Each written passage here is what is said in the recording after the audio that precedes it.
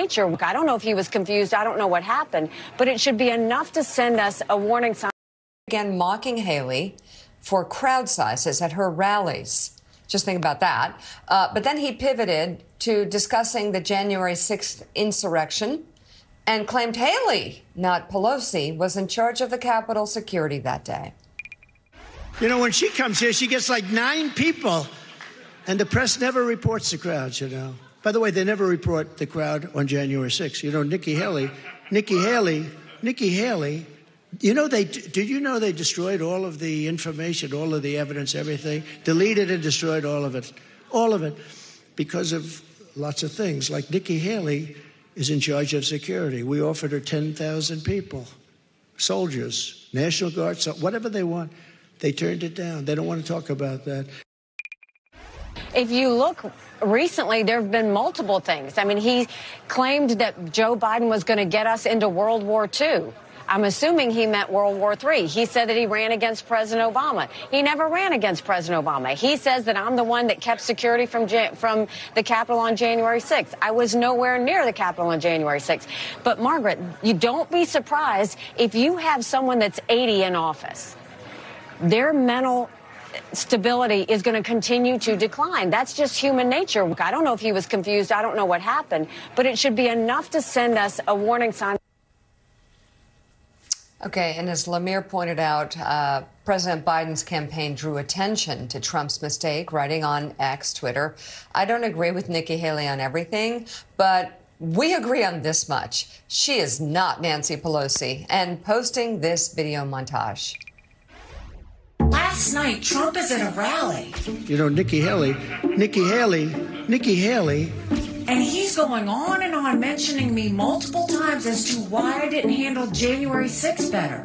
Nikki Haley is in charge of security. We offered her 10,000 people. They don't want to talk about that. I wasn't in office then. They're saying he got confused. You have voter ID to buy a loaf of bread. You have you have ID to buy a loaf of bread. What?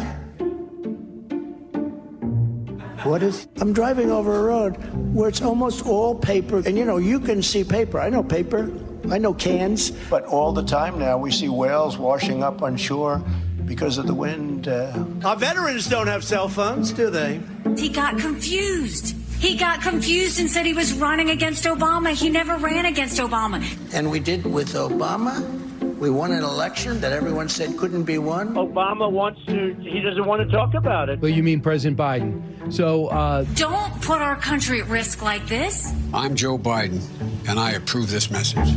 I bet you do approve that oh message. God. Oh my God, Jonathan Lemire. First of Trump all, Trump has stolen the "he's too old" concern. Oh well, yeah, yeah from Biden. No, he's completely. He's it's gone. It's gone. I mean, if they want, if they want, if they want to bring it up that Joe Biden has a stutter that he's had since like he was uh, 14 years old, they can bring that up. Yeah. Biden campaign hopes they bring it up. But but there's so much here. By the way, voter ID to buy a loaf of bread. He repeats that three times. Says he's driving over paper, a road that's almost all paper. Nobody knows what he's talking about because he doesn't know what he's talking about because his mind sometimes just becomes mush. But um, I got to say, uh, Jonathan Lemire, uh, that's just, again, that's just brutal. He looked lost. He looked confused. He looks, he, he just, and again, the super extreme MAGA voters, they'll stay with him. They're staying with him through praising every communist Chinese and communist North Korean dictator on the planet, they'll stay with him through an episode of, I don't know if it's early onset of dementia or exactly what it is. They'll stay with him. But swing voters, again, as we've said, as the Biden team said, as J.V. Last said with the Bulwark, the more they see this guy, the more they're going to say, like they said in 2020, uh, no thanks.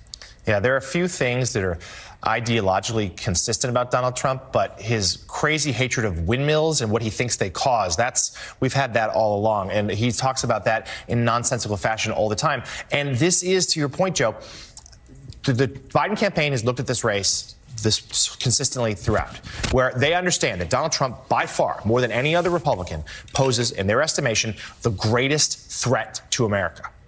The stakes couldn't be higher with Trump on the on the ballot. That said, it's also the race they want because they feel like, first of all, Trump's age, that what we're seeing here, the increased confusion, negates what could have been a pretty powerful Republican attack line against President Biden, who's certainly shown no signs of confusion like that, but is someone who is over 80 years old. He can't change his birth certificate. Uh, they also think, though, that the that to your point of a moment ago, some aides told me this earlier, the, uh, mid last year, that they just feel like Trump had become background noise for so many Americans. Yeah, he's in the headlines for this legal case or that, or he gave this speech or there. But outside of the diehard MAGA base and the Fox News viewers, no one's been really listening to Trump. He's just sort of been in the ether. But now that people are starting to pay attention again as the election year really ramps up, and frankly, in about 48 hours, Donald Trump might be the Republican nominee because the primary could be over. They're going to have no choice yeah. but to pay attention. And when they see Trump and they hear Trump and see not just how he's perhaps lost a few steps, but also yeah. the how his rhetoric has gotten angrier and more dangerous, they do think that's going to turn off those independent swing voters who maybe backed him in 16, yeah. broke from him in 20, and sure wouldn't back him again in 24. And that's what's so interesting here. I know a lot of people want to see Nikki Haley and before it wanted to see anybody uh, right. challenge Donald Trump. The White House is not in that group. Mm-hmm. The White House wants Donald Trump to nail this nomination process down as quickly as possible and wake up young voters, wake up black voters, wake up Hispanic voters who have gone away from them because they will say in focus groups, there's no way Democrats are going to be facing Trump. Again, the disengaged voter is like, no, no, no, that guy's never going to be here again. That's not going to be our choice. So the White House has been waiting for this moment to arrive. If New Hampshire is a landslide for Trump and he nails it down, then the White House gets what they want. They get that matchup with the one guy that Joe Biden's team knows he can beat. Well, because he's done it before, so there's proof. Um, but yeah, if those who haven't been that into it, they tune in now and see Trump, he's very yeah. different. Yeah, Much more, uh, even physically, seems yeah. different.